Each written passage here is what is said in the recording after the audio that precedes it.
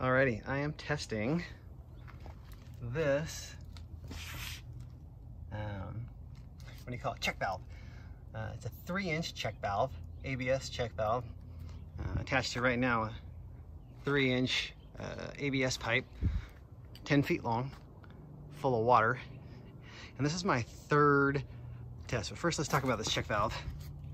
Uh, this is about this is about $28 on Amazon, came in one day. Um, you can also find them locally for around where I am for like $35 or so. Uh, anyways, a, uh, a, swing check valve for a pond. And why would you install a swing check valve for a pond?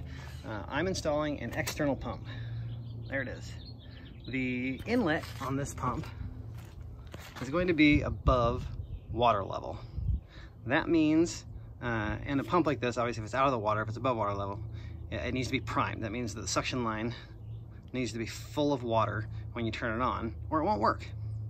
So the way you do that is by installing a check valve at the bottom of your intake so that you can fill the line with water and it will, the check valve will hold the water uh, so that you can turn the pump on and it will, it'll stay primed.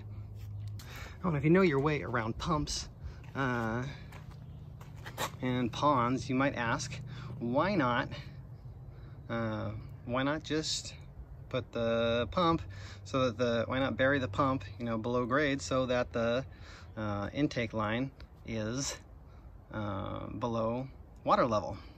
Well, that would be a great idea and I would love to do that. However, uh, I am drawing from this cistern and that cistern has a fluctuating water level and it is about four feet deep, which means that in order to install this pump uh, in a situation, you know, in a uh, in a way where it would always be primed by uh, water in the cistern, I would have to bury that in a in a pit four feet deep, which is uh, not really practical. I mean, you could do it, but then at that point, like, why I just get a submersible pump. I just get a submersible pump and put it in the cistern instead of burying it four feet out of it, and then doing like you know doing a bulkhead fitting through your liner uh, four feet down. That just is a disaster waiting to happen, in my opinion.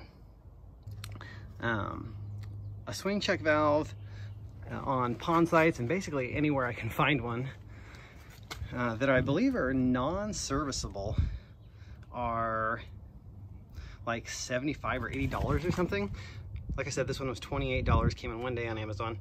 Uh, it's made by Canplas. The thing is is this is made for sewage okay? Uh, it's made for a sewage line and if you read the FAQs like on Home Depot, Lowe's, or wherever it's sold, you know, a lot of people ask, can you install it vertically? And you know, the answer is always, no, this will not work vertically. And that is correct for a sewage application where water is running downhill uh, and it needs to be installed. You know, the flapper is in, let's see if I can, the flapper is in here. And when the, uh, if this were horizontal, you know, it would be opening, it's got an arrow on it. There's can see it. It's got a arrow on it says water goes this way.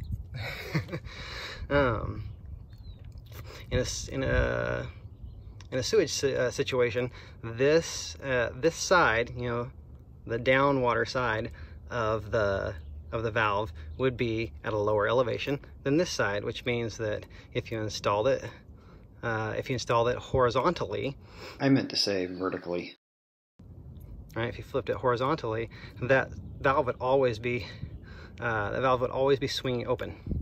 And there'd be, it wouldn't have the pressure, you know, there, uh, it, would, it just wouldn't work.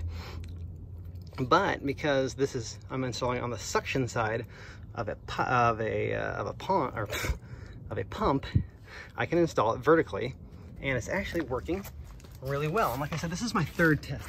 And there's, there's the tiniest little drip going on down there uh, at the bottom of the, I'm talking about right here, where I think it's just the tiniest little bit dripping through. There's also a little bit, I guess that's dried up. I spilled some out the top of the pipe. But I also, because this is serviceable, you know, this is screw tight and it's got a seal in it. Um, it has a slow drip to it. And I'm not sure uh, if I'm doing something wrong, but I've tried hand, you know, it says hand tighten only. Uh, I finally got it to where it's basically only losing a drop. I've got a timer going for an hour to see how much uh, how much water it loses in an hour. But so far it's working pretty well. You know, I don't think you can expect a check valve to block 100% of the flow forever. Uh, it's really just for emergency situations where, you know, you lose power, your pump shuts off, and it buys you uh, quite a bit of time to go close a valve or something to like really shut off the flow of water so it doesn't, so things don't back up.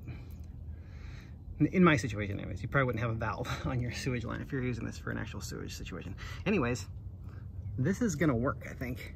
And it is, like I said, uh, I'm able to get it locally. I could never get like an actual swing check valve um, anywhere. I mean, maybe there's some like some, some, plumbing supply stores that are you know contractor only, like Ferguson or something, where I could go and pay like $150 or something for you know walk-in dummy prices, like for people like me. And just hey, sell me a swing uh, check valve. But anyways, for for 30 bucks, I think I've solved my problem. All right, my test is complete. I filled this 10 foot piece of 30 inch PVC to the brim with water and pretty much held. Uh, I calculated that it lost two hundredths of a gallon over the course of an hour. And you can see now it's actually dripping quite a bit less. It's kind of, it seems like the seals have essentially self-healed uh, after an hour or so. I mean, it's not perfect, it's still dripping. You can see it's still dripping. Um, and I don't know if, uh, I don't know how that, if you can extrapolate that out to like, you know, days, weeks, months or something. I know people complain about check valves and stuff like this because eventually they fail and then you run into issues.